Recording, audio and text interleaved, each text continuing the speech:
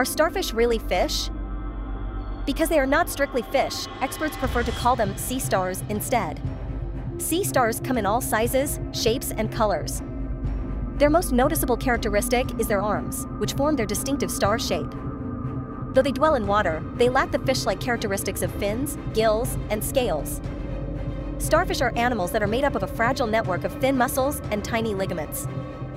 Starfish also have a particular mode of movement, distinct from that of fish.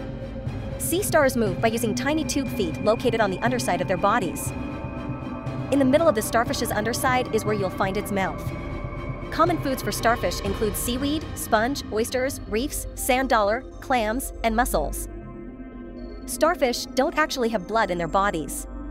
Instead, they pump seawater through their vascular structure in order to carry nutrients and oxygen. Starfish possess the ability to regrow a limb that is lost.